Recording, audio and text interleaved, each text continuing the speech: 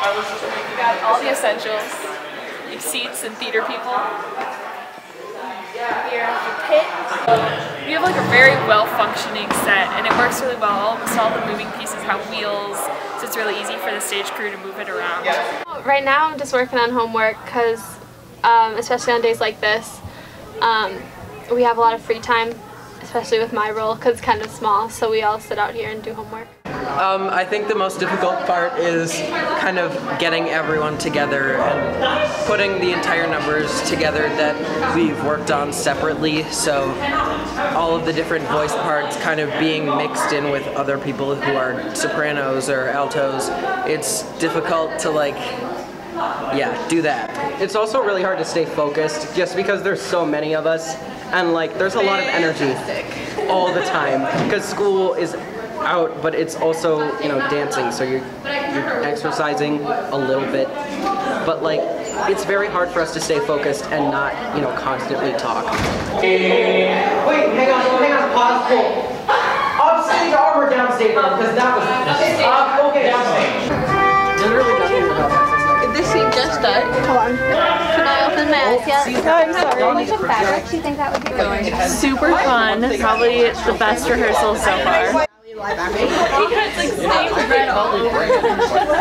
Oh, I heard about this.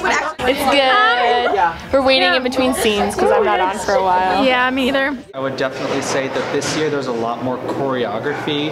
Like the extent of the choreography that we did last year was marching in place basically, but this year there are full-on dance numbers such as the Crapshooters Ballet where we have to do very intense choreography. There's no singing, it's completely choreography, but it's also a really cool experience because you get to kind of get a taste of all these different types of musical.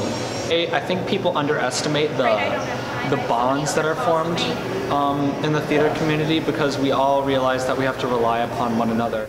All right, so this is the um, props table, and the big thing about props tables is that our stage manager is very, like, very, very, very serious about us not touching anything. So you don't touch anything that isn't your prop, and you only touch it when you need it, and those are the rules.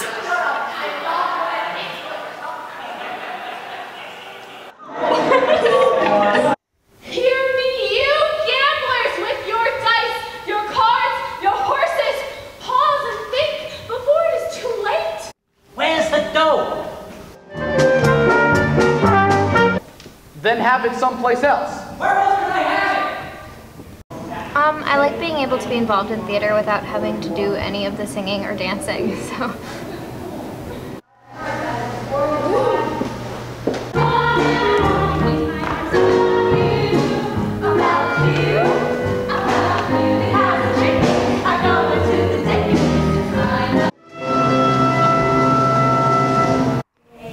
Wait a minute, I got a customer. Oh shoot! On Friday, I don't know. Finally, like sing it all run smoothly. Hopefully. Yeah, it'll be super exciting to see how the audience reacts because there's certain things in the show that I don't really know if they're funny or not, but it'll be good to see what the audience thinks.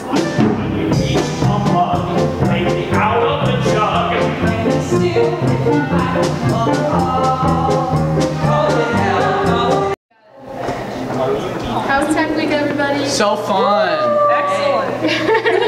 thank you Mary.